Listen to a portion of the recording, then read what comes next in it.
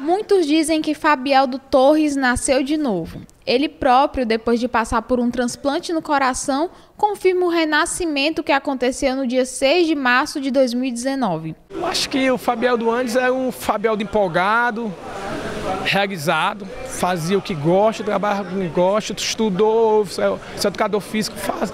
Eu, tudo na minha vida eu fazia com muito prazer. Dava aula sorrindo, dava 15 aulas durante o dia, a última aula eu estava, sorrindo mesmo, da mesma forma que eu dei a primeira. E esse novo Fabieldo é o Fabieldo antigo, só um pouquinho mais empolgado ainda, porque tão bom viver e tive um risco de morrer e, poxa, ter outra, mais outra chance, então tenho que ser melhor ainda aquilo que eu faço. Tudo começou em 2017, quando Fabieldo, que sempre fora bastante ativo e disposto, começou a sentir cansaço ao exercer várias atividades durante o dia. Depois de ir a alguns médicos, ele soube que tinha cardiopatia viral, mas foi no ano passado que a opção do transplante se tornou concreta. Em agosto de 2018, Fabieldo se mudou para Fortaleza com a sua esposa, Sheila Souza. Ele entrou na fila para adoção e estava bem abaixo. Foram dois meses de espera até ser internado e subir para o segundo na fila.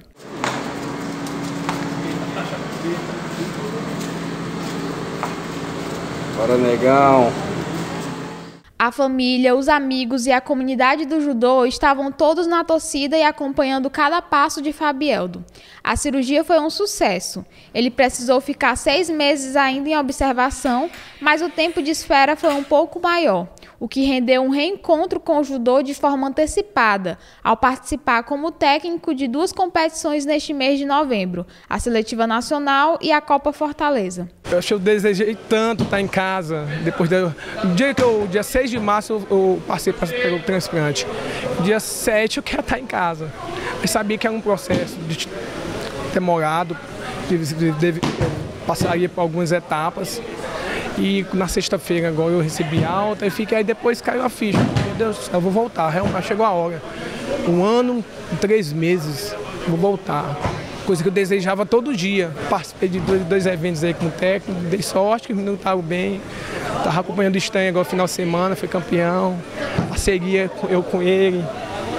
E só não vou para o Campeonato Brasileiro Sênior agora, técnica aí, vai o professor, o professor Queiroz, excelente técnico, mas se, se o médico me liberasse, eu, eu mostrar, estaria à disposição da federação. Mas sei que é com calma, próximo ano eu estar bem nativo em relação, pessoalmente, com o papel de técnico da seleção piauiense. Até que finalmente, depois de um ano e três meses longe de Teresina, Fabieldo retornou à cidade. E claro que os seus amigos, também parceiros de judô, realizaram uma surpresa que fez o seu coração pulsar com muita emoção.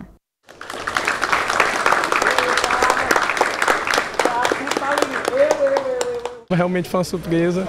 Eu já vinha um pensamento, eu ia chamar a atenção dos dois alunos meus que vão fazer exame para faixa preta. Os meninos não estão bem, os meninos não estão bem. Eu vinha chamar a atenção deles. Isso eu recebi dessa forma, eu não imaginava. Realmente foi uma surpresa. E estão gastando meu coração novo já. É uma, uma, felicidade que a gente já vem vivendo há algum tempo, porque a gente nunca perdeu contato. Apesar de ele estar morando em Fortaleza há um pouco mais de um ano, é, a gente tinha vários grupos no WhatsApp.